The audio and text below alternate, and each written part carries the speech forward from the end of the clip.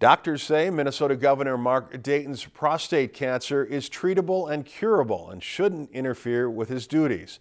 The Democratic governor revealed his recent diagnosis last week after he collapsed during his State of the State address.